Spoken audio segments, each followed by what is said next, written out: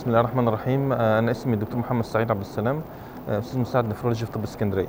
آه، أنا بحب أوجه رسالة للجونيور ستاف كانترنست أو نفرولوجيست عن هاو تو ابروتش البيشنت وذ رينال ديزيز طبعا إحنا عندنا حاجة مهمة دلوقتي التارجت بتاعنا إن إحنا وود لايك تو مينيمايز النمبر اوف بيشنت ريتشنج ديلز بوينت وطبعا عشان نعمل الموضوع ده وي هاف تو ثينك اوت اوف ذا بوكس اوت اوف ذا بوكس يعني إيه؟ يعني وي هاف تو لوك فور نيو تولز ذات minimize the number of patient reaching this point ازاي هنعمل كده first of all we have to do uh, prevention prevention of CKD is very important and to prevent CKD we have to know how to approach the patient with query renal disease طبعا الابروتش is very important لان انت لو عندك evidence based approach و scientific approach you will have a right impression and right plan فالapproach to the patient is very vital and important to minimize the number of patient reaching dialysis point طبعا احنا بنقول ان prevention of CKD can be achieved احنا كنا بنقول زمان sometimes diabetic nephropathy is not preventable but now for example diabetic nephropathy is preventable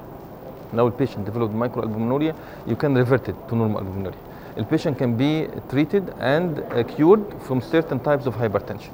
Uh, so prevention is vital tool to minimize the number of patients reaching the end stage renal disease and we can achieve this by screening program يعني احنا we have uh, to inform the GPs والinternists uh, how can they look for the high risk group that they might develop in the future chronic kidney disease احنا بنقول قبل كده ان any patient with strong family history of hypertension diabetes history of acute kidney injury and recovered before history of recurrent renal stone uh, recurrent renal stones history of familial uh, renal disease like uh, polycystic kidney disease. All of these are high risk group to develop renal disease. So we have to tackle this group. We have to screen this group to be sure that they have normal kidney function. And if there is any risk factor for development of kidney disease we have to intervene early early intervention will prevent CKD and if CKD happened, we have to know how to prevent progression. Because sometimes you might diagnose a patient with chronic kidney disease stage 2. So your target is to avoid progression from CKD2 to CKD3. To achieve that, we have to follow the guidelines. We have to follow the protocol. We have to have a scientific approach. If you will have a scientific approach, you will protect yourself and you will protect your patient. And your target at the end to save the life of the kidney.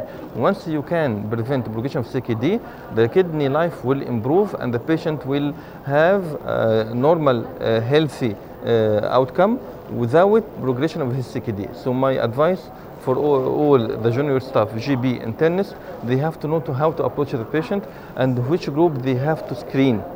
Any patient with hypertension, any patient with diabetes, once they develop any marker of renal disease, microalbuminuria, uncontrolled hypertension, uh, microalbuminuria to nephrotic range proteinuria, they have to refer to nephrology because the nephrology has completely different manage management plan that can prevent the progression of CKD. So please, once you have any patient high risk to develop CKD, early intervention, early refer to nephrologist will protect the life of the kidney of the patient and in the future we will extend our advice and we'll have many other sessions to teach the audience how to prevent progression from early stage of CKD to advanced stage of CKD. And thank you so much.